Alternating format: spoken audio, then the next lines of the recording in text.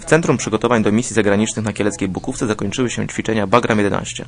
Uczestniczyło w nich blisko pół tysiąca żołnierzy, którzy na początku kwietnia wyjadą na misję do Afganistanu. Podsumowaniem szkoleń wojskowych była wizyta polskiego dowódcy operacyjnych sił zbrojnych Tadeusza Gruszki wraz z amerykańskim dowódcą wojsk lądowych Markiem Hertlingiem. Generałowie ocenili, że polscy żołnierze są w pełni przygotowani do swojej misji. Czuję się zaszczycony, będąc tutaj z moimi przyjaciółmi, z którymi uczestniczyłem w wielu ćwiczeniach Bagram. Tego rodzaju zadania są szczególnie nakierowane na takie wyszkolenie naszych żołnierzy, aby prowadzić właściwą współpracę. Ćwiczenia na Kieleckiej Bukówce były prowadzone po raz czwarty. Są one jedynie elementem całego procesu szkolenia żołnierzy. Wojskowi byli szkoleni m.in. w mobilnym centrum dowodzenia.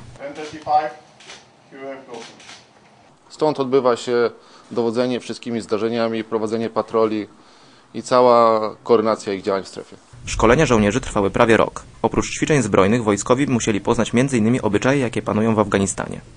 od kulturoznawstwa, religioznawstwa, właśnie poprzez y, szkolenia e, z psychologami, e, przygotowujemy do każdych misji w sposób możliwie najbardziej, y, naj, najlepiej oddający realizm życia. Głównymi zadaniami polskiego kontyngentu będzie utrzymywanie bezpieczeństwa w prowincji Gazni oraz współpraca z miejscową władzą.